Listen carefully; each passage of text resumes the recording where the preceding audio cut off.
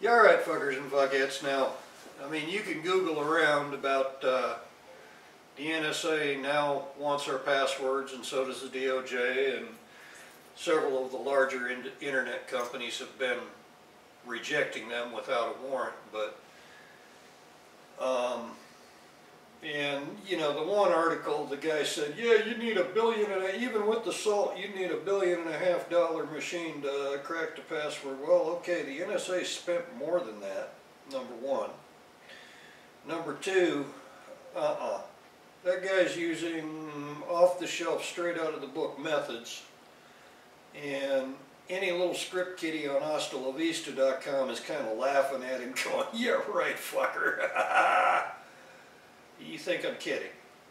Um, but you see, the thing is, is by allowing the NSA and continuing to fund them, and they're literally recording everything that we do on the internet. Every keystroke we make, everything we post on Facebook, blah, blah, blah. So let me ask you, ladies and gentlemen of the House and Senate, what protections are going to be put in place to protect us, the American citizen, from their misuse of our passwords because we've already, you can go anywhere on YouTube, you can go anywhere on the internet and pretty much Google around for less than three minutes and find thousands of articles related to corruption in our government. So, what's to stop them if they've got our passwords from doing shit on our accounts? From using our credit cards? What penalties are going to be there for those NSA agents or DOJ, it doesn't matter, if they misuse that information in any way, shape, form, or fashion whatsoever. And I don't want to hear about probation.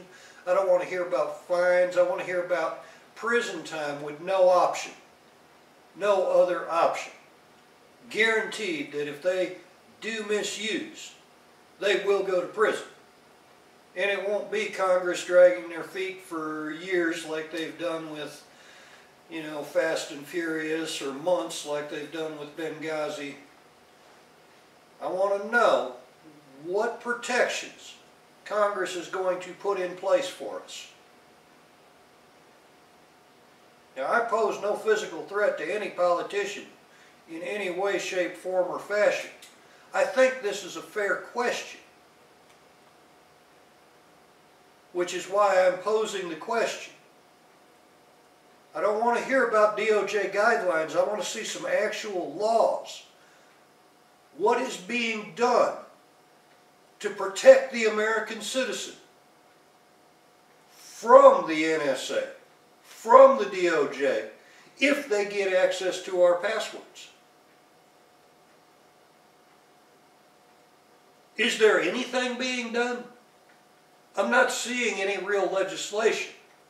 I'm not even I'm not even seeing proposals outside the draft stage. Not even hearing about them. That's quite alarming. What kind of congressional oversight will there be over the NSA? I mean, currently, it's really hard to find where Congress is even able to get any information out of the Department of Justice, much less the NSA. As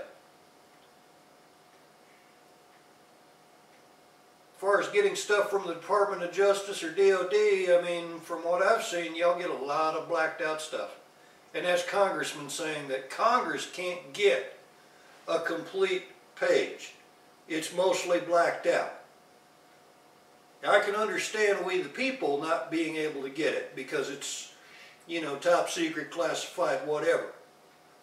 But when Congress can't get a clear and concise, unredacted document, that tends to cause concern in the average mind it tends to make us wonder, is there any oversight?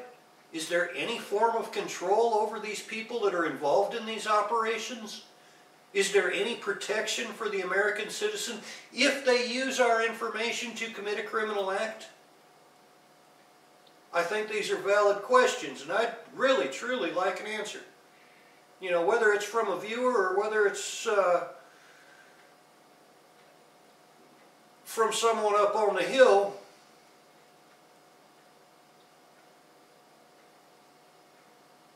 You know, what is there to put our mind at ease? What is there going to be to put our mind at ease? Yep. Pay attention. Alright, we'll holler at y'all fuckers and fuck yets later.